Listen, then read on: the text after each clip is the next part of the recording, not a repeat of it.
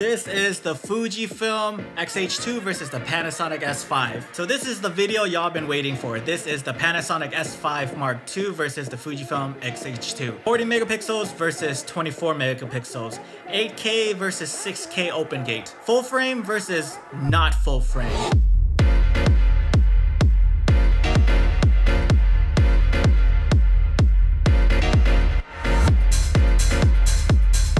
Hey guys, welcome back to the channel. It's me, I am Tung, and today we're going to do a comparison video between the two camera. We are talking about the Fujifilm X-H2 and the Panasonic S5 II. Uh, why don't we stop the dilly-dallying and get right into it? Starting with what people want to know first, and that is the image quality.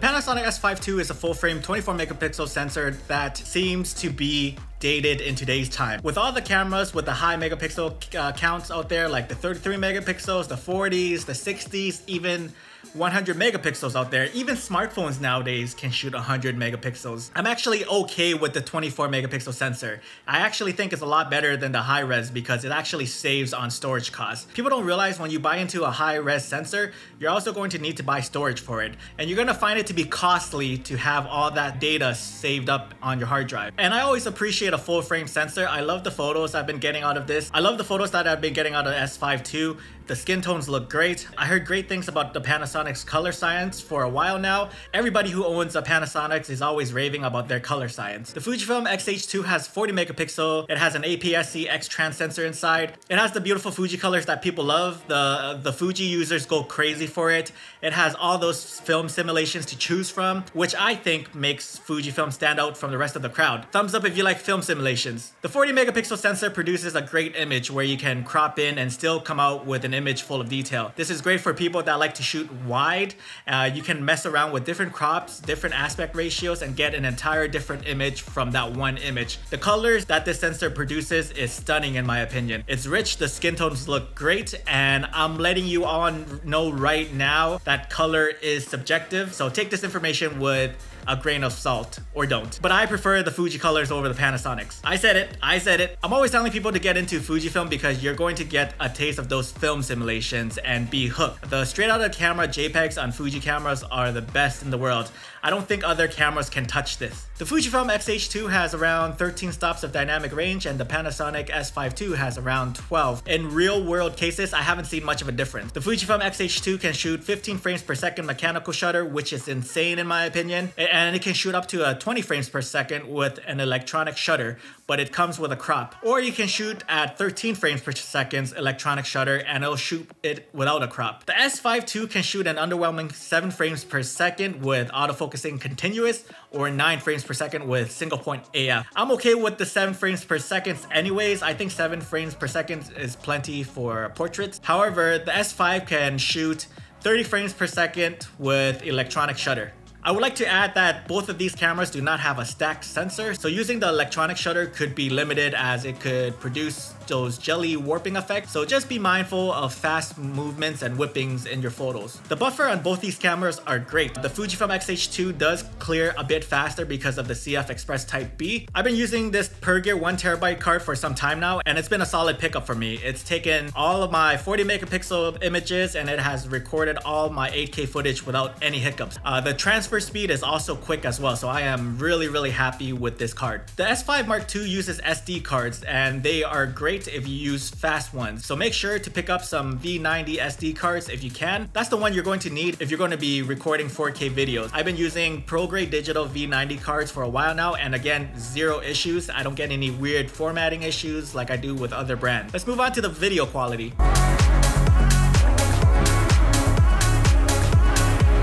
The S5 does 6K open gate, which is clutch. I think more cameras are going to lean into uh, open gate soon. It's such a versatile filming option to have. Open gate allows you to film the entire width of the sensor, so that way you can do uh, different crops with it. You can crop in and reframe your video at a 16 by 9 option, or you can use it to film in a vertical 9 by 16 format. And since we are living in a TikTok, Instagram Reels, and YouTube Shorts era, this is a great feature to have because all you really need to do is just to film it once and have a couple of options to crop to different aspect ratios. Whereas before, I would hate that I have to film one vertical take and one horizontal take. That was always a drag to do. So the open gate is very handy. Although the XH2 cannot film an open gate like the S5 Mark II, this camera can film up to 8K 30, which is freaking insane. So if you're editing on a 4K timeline, you can punch in and still see details because of the 8K footage. It has many other options as well, such as 6.2K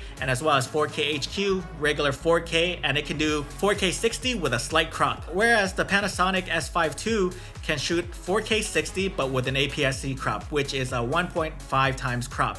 And that is a bummer. So if you're looking to shoot 4K 60, make sure to bring some wider focal length to compensate for the crop factor. The video looks great as well. This is the first time using a Panasonic system, so I have like no baseline to work with.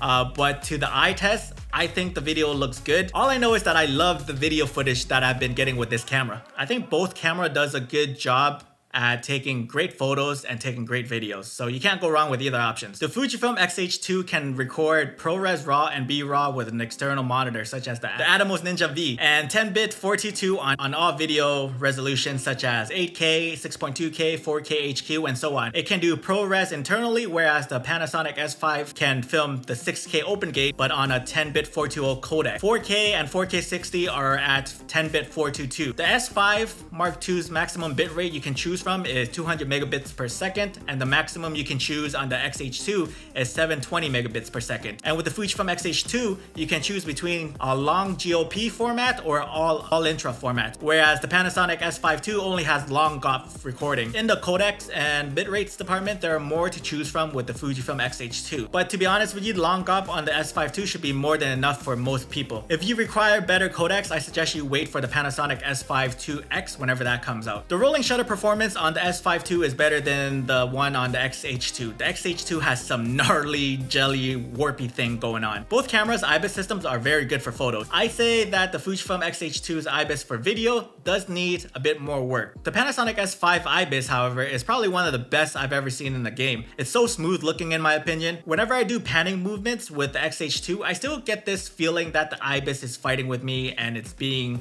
just a bit jerky. Whenever I use the S5 II to do any sort of panning, it was smooth like butter, man. I'm really happy with its IBIS, especially for hands like mine too. I don't have the, like the steadiest hands. And then whenever you guys see me vlog, it looks like it's going to give you an aneurysm. So the IBIS looks so much smoother on the S5 II than the XH2. Just know that this only works well with longer focal lengths. If you use an ultra wide lens like the Sigma 16 to 18 millimeters, you're going to get some bad warps and wobbles because of it. But the Panasonic S5 has dual native ISO, starting from ISO 640 and then the second one at ISO 4000 in Vlog, thus making this camera a capable low light video camera. However, saying that, this X-H2 surprisingly wasn't that bad in low light as I thought, given the fact that this is a 40 megapixel APS-C sensor.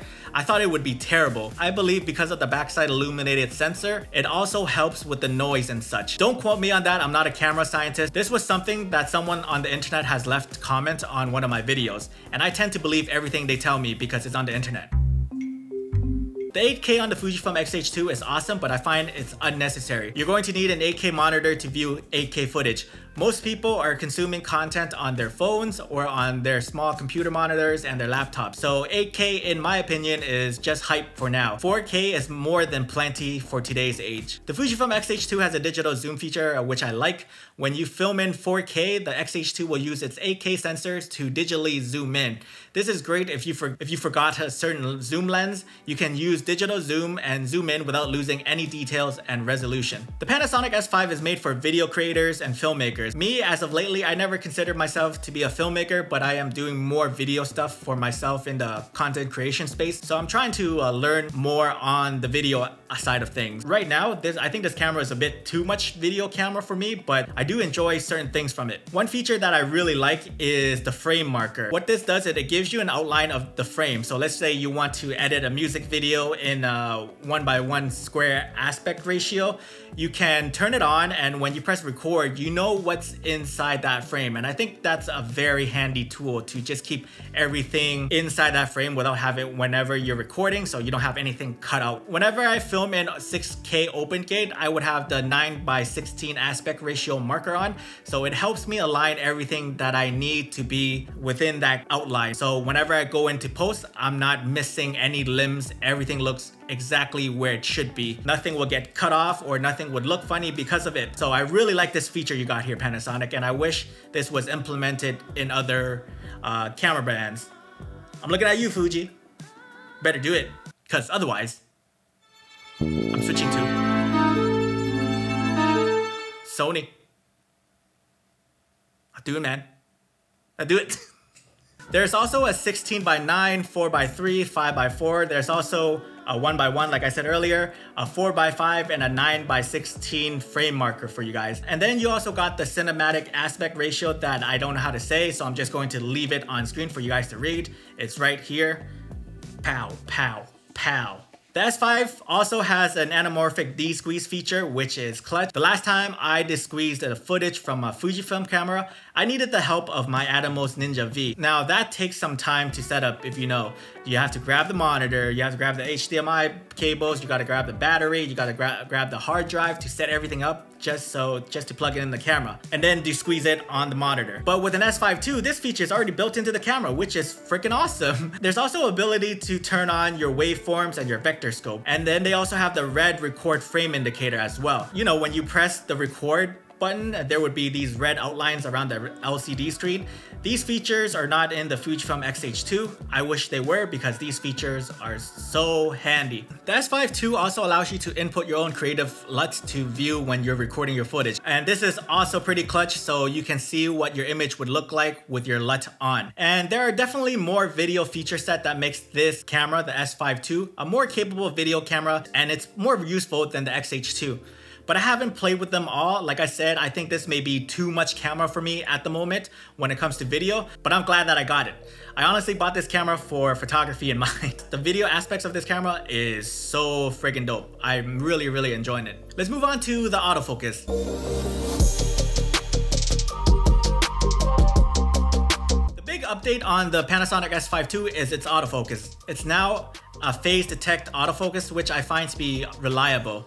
I don't believe it's better than the Sony's. I used to own the Sony a7 IV. I still think that AF is really, really sticky. And I find that the Panasonic is not far behind. And I'm okay with that. When it comes to video autofocusing, the Panasonic S5 II is great.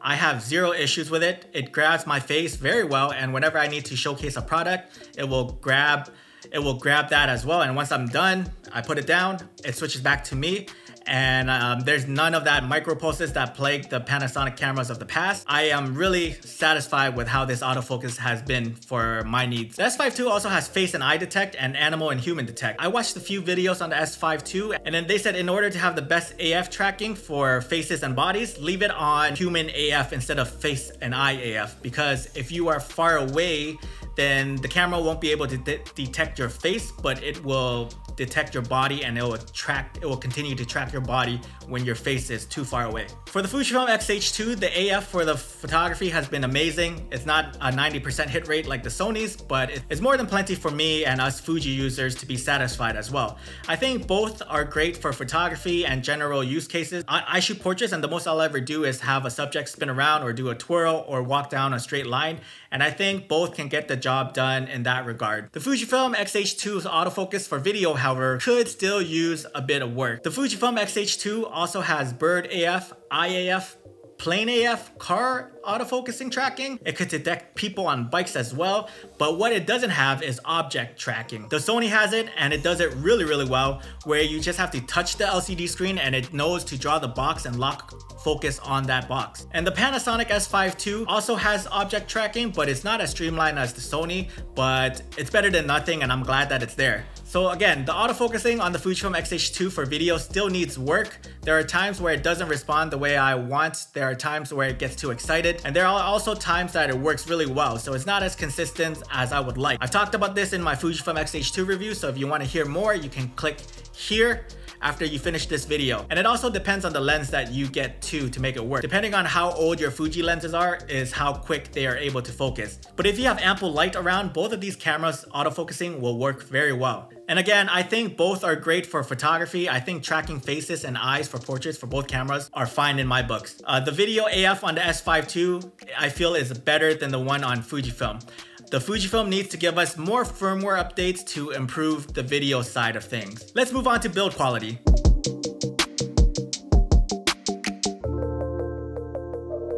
Panasonic S5 II is nicely built. I think everything makes sense on how they laid things out. It's like they really thought this one through. And it's also a good looking camera. You got the PASM dial on top with the three custom settings, C1 to C3. What I like about the S5 II is it has a joystick and a scroll wheel, making our lives so much easier when we need to scroll for things. I also find the joystick is not as sensitive as the XH2. You got the single point AF, the continuous AF, and the manual toggle besides the joystick, and it's so easy to switch to different modes, which I do appreciate. Now with Fujifilm, if you want to change from single point AF to continuous AF to manual focus, you have to press a few more buttons and then confirm with another button pressed. And that's already too many steps in my opinion. The buttons on the S5 II feels great. The buttons are rounded, giving it a nice tactile feedback when I press on it. Whereas the Fujifilm button feels sunken when, you, when you're pressing into it. Although you get used to it, but if you're coming from like something like an XT3 and XT4, you may not like this. That being said, I do prefer how the S5 II controls are laid out uh, more than the, my Fujifilm X-H2. The Panasonic S5 II has a built-in cooling system inside that camera. For those long days of recording, this will this fan system will keep it cool. If you want the X-H2 cooling fan, you're going to need to shell out a few hundred bucks to get that accessory, and then that'll be attached to the back of your LCD screen. During my testing of the S5 II, I was recording 6K OpenGate footage for about an hour to an hour and a half, and I didn't get any uh, overheating warnings or anything like that. The grip on the S5 II feels great. This camera feels great to hold in the hands and the Fujifilm X-H2 as well. I like the look and feel for both cameras. The Fujifilm X-H2 also has a PASM dial, but instead of three custom settings like you have in the S5 II, you get seven on the Fujifilm to store photos, and video settings. If you want to have a good shooting experience with the X-H2, you must have those settings set. Both bodies are splash proof and dust proof, which is great for that peace of mind. The X-H2 also has a top display, but I honestly would rather them give me another dial instead of the top display thingy. Both of these cameras have a flip out LCD screen, which are both sharp and bright. The EVF on the X-H2 is brighter and sharper, and it's been a joy to use outside. I think the EVF has around somewhere around 5 million dots, whereas the S5 II has 3.6 million dots. I find the S5 II is more than enough for most cases, but I do prefer using the X-H2's EVF when it comes to shooting outside in the bright sunlight, making it much more easier to see when I'm composing a shot. Another reason why I prefer using the X-H2 outside during a day full of sunlight is because the X-H2 has this one feature that is really, really awesome. It can shoot up to uh, 1 over 180 thousandth of a second. Now, I'm not gonna lie, this has been pretty clutch for me because I've been shooting with lenses that are like around f1.2 and f0.95, and I am so grateful for that Uh, the S5 II tops out at 1 over 8000 of a shutter speed. And when I'm shooting outside during the day, I'm not able to shoot wide open to get that background blur, that tone, I will need to stop down because of this. I also like this red record button on the S5 II. The record button on the XH2 is so tiny and it's so close to the ISO button. And I sometimes get them mixed up when I'm not looking because they're so close together. Fujifilm X-H2 has a dual card slot, one being a CF Express Type B with one SD card slot.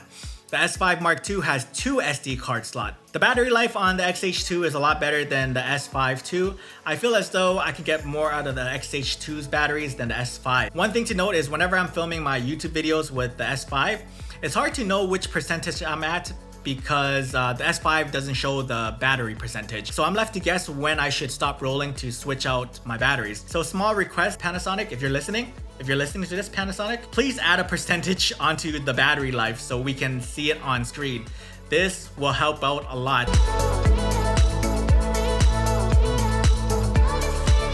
Both these cameras are priced the same, but they are for different users. With the Fujifilm X-H2, uh, that's more for the people that want a high resolution sensor, high res in photos, and in videos. I would say that Fujifilm X-H2 is more for the hybrid shooters, whereas, whereas the Panasonic S5 II is a video-centric camera that can take some good looking photos. And I know Fujifilm X-H2 has the better codecs and bit rates that should be more attractive for the video centric users, but the S5 II has a robust video feature set that I feel is better for video shooters. You got the 6K open gate, you got the waveforms, you got the vector scopes, you got the shutter angle, shutter angle, you also got real-time LUTs where you can add in your own LUTs to monitor your videos. The Fujifilm X-H2 can't do that.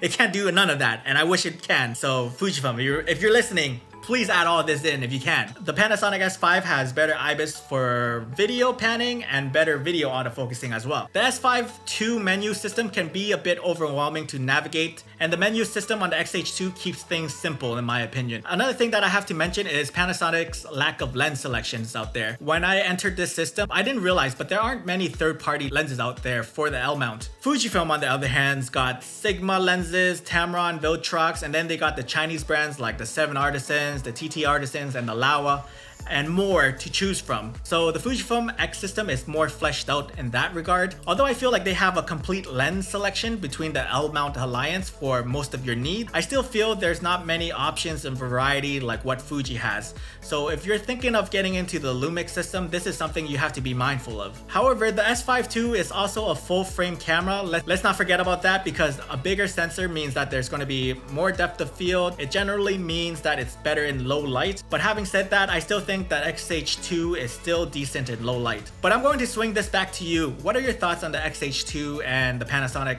S5 II?